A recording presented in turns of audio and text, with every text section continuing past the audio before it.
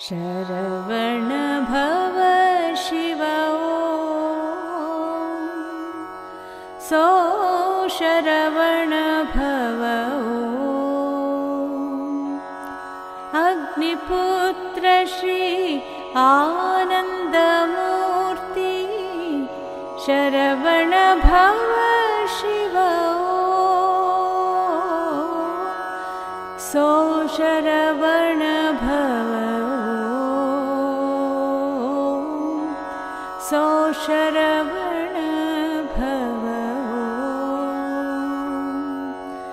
Namo Namo Kartikeya Namo Namo Subrahmanya Namo Namo Shanmukhanath Namo Namo Swaminath. Jai Gurudev. Uh, this uh, was composed by Gurudev uh, way back in 2002. We were on our way to the Swami Malai, you know, temple.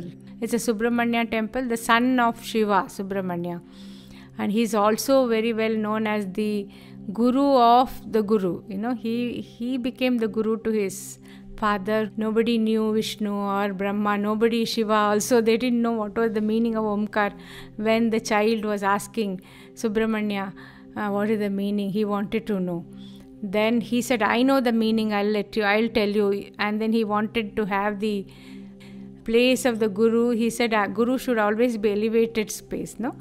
And then parvati told uh, uh, shiva lord shiva that uh, you lift him up and put him on your shoulder then he will have a higher seat than yours.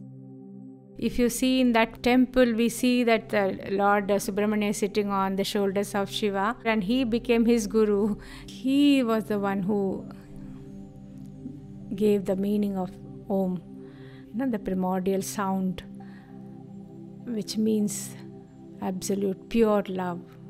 We are looking forward to uh, the discourse on Murugan Rahasyam, means the secret that uh, Lord uh, Kartikeya told to Shiva, Gurudev is going to tell us now. so that is what is Rahasyam means secrets. Murugan is another name for Lord Kartikeya. We are so fortunate that we are going to hear this uh, very soon. We are looking forward to this.